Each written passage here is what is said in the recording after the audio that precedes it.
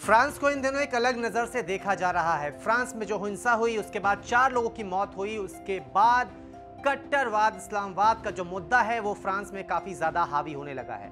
अब social media पर एक तस्वीर वायरल है, जिसमें एक शरणार्थी कैंप की कुछ लोग वहाँ पर नज़र आ रहे हैं और वहाँ पर ऐसा दावा किया जा रहा है कि फ्रांस में मुस्लिम को अब लोग शरणार्थी कैंप में घुसकर खदेड़ने लगे। फ्रांस में कट्टरपंथी हिंसा में चार लोगों के मारे जाने के बाद से देश में आक्रोश है। इन घटनाओं को लेकर फ्रांस में इस्लामिक अलगाववाद और कट्टरवाद का मुद्दा गर्मा चुका है। इसी के मद्देनजर सोशल मीडिया पर एक तस्वीर वायरल है। इस तस्वीर के साथ मुसलमानों पर तंज कसते हुए दावा किया गया है कि फ्रांस में मुस्लिमों को दौड़ा दौड़ा कर पीटा जा रहा है।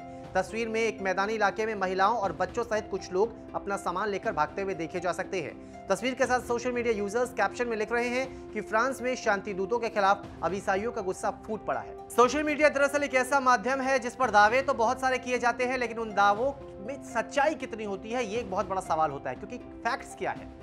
इस पर कोई ध्यान नहीं देता।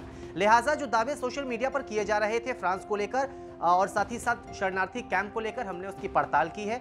सच्चाई जानने की कोशिश की है। India Today anti fake news war room ने पाया कि वायरल पोस्ट भ्रामक है। ये तस्वीर साल 2015 में सीरिया और तुर्की की बॉर्डर के पास ली गई थी।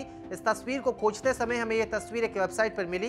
तस्वीर के साथ दिए गए कैप्शन के मुताबिक ये तस्वीर 10 जून 2015 को तुर्की के सनली उर्फा प्रांत में खींची गई थी। उस वक्त सीरिया के लोग रास अल एन क्षेत्र में रह रहे संघर्ष से बचने के लिए बॉर्डर के रास्ते तुर्की के अकाल के शहर में घुस रहे थे। तो कुल मिलाकर सोशल मीडिया पर जो दावा किया जा रहा था, वो सरासर गलत है। फ्रांस में मुसलमानों को इस तरह से अभी तक नहीं खदेड़ा गया है। जो दावे हैं, वो पूरी तरह से भ्रामक हैं। इससे पहले आपको बता दें कि एक मुस्लिम महिला पर फ्रांस में अटैक की खबरें भी खूब वायरल हुई थी। उसकी भी सच्चाई हम लोग, आपको दिखाई थी। वो भी दावा झूठा साबित हुआ था।